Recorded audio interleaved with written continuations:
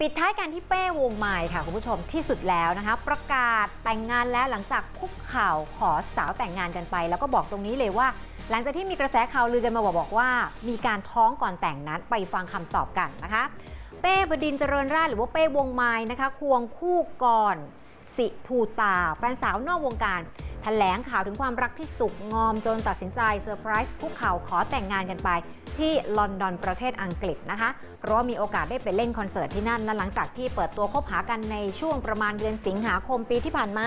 ทั้งคู่ก็เปิดเผยว่าคบหากันมาได้ประมาณสัก 2 ปีแล้ว แล้วก็รู้สึกว่าเป็นคนที่พอดีสำหรับกันและกัน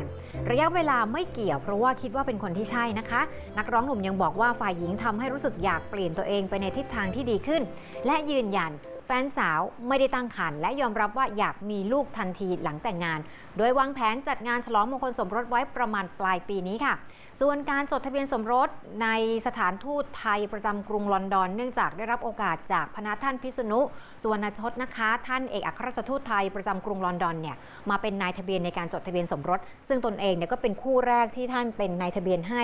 ซึ่งเป็นโอกาสที่ดีที่มีเวลาในการตัดสินใจอย่างรวดเร็ว แล้วก็ได้ปรึกษากับทางครอบครัวแล้ว โดยทางท่านานทูตเนี่ยยังอวยพรแล้วก็มอบของขวัญให้กับทั้งคู่ นับเป็นเกียรติแก่เรา แล้วก็วงตระกูลเป็นอย่างมากนะคะ ตอนนี้ก็จะใช้ชีวิตแบบสามีภรรยากันแล้ว แล้วก็ไม่ได้ปรับตัวกันมากคอยดูแลแล้วก็เตือนกันไปเรื่อยๆค่ะ